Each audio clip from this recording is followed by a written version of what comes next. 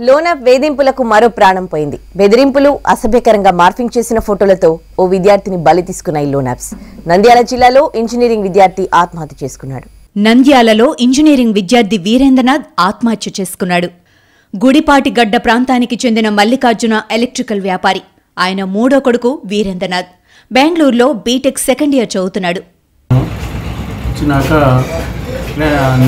భావంతో ఉన్నాడు ఫస్ట్ చూస్తే లోన్ యాప్ అని ఒకటి లోపల ఉండేది. అది దాని గురించి మేము అడగగా ఏం లేదు అది ఫేక్ అన్నాడు.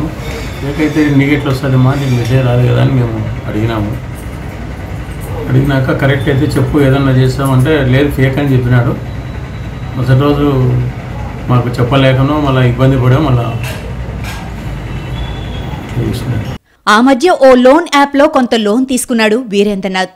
ఈ విషయం తల్లిదండ్రులకు కూడా చెప్పలేదు. కొద్ది రోజులుగా వీరేంద్రనాథ్ దిగులుగా ఉంటున్నాడు. అతను రెండు సబ్జెక్టుల్లో ఫెయిల్ అయ్యాడు. మళ్ళీ ఎగ్జామ్ రాసేందుకు ఫీజు కూడా కట్టాడు. వీరేంద్రనాథ్ దిగులంతా ఎగ్జామ్స్ గురించేమో అనుకున్నారు తల్లిదండ్రులు. అంతలోనే వీరేంద్ర కుటుంబ సభ్యులకు లోన్ యాప్ నుంచి మెసేజ్ వచ్చింది. అతని ఫోటోను మార్ఫింగ్ చేసి దారుణంగా కామెంట్స్ రాసి పంపించారు. ఫోటో గురించి వీరేంద్రనాథ్ను ప్రశ్నించాడు తండ్రి. అంతా ఫేక్ అని అప్పటికి సర్ది చెప్పాడు వీరేంద్రనాథ్. ఈమె చిన్న గదిలో పుట్టగొడుగులు సాగు చేస్తూ నెలకి యాభై వేల రూపాయలు సంపాదిస్తున్నారు. దీని గురించి మీరు నేర్చుకోవాలనుకుంటున్నారా? అయితే ఇప్పుడే ఫ్రీడమ్ యాప్ను డౌన్లోడ్ చేసుకోండి.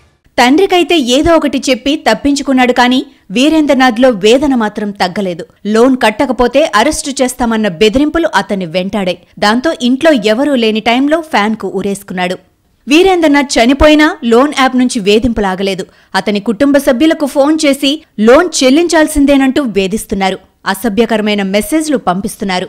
ఈమె చిన్న గదిలో పుట్టగొడుగులు సాగు చేస్తూ నెలకి యాభై వేల రూపాయలు సంపాదిస్తున్నారు.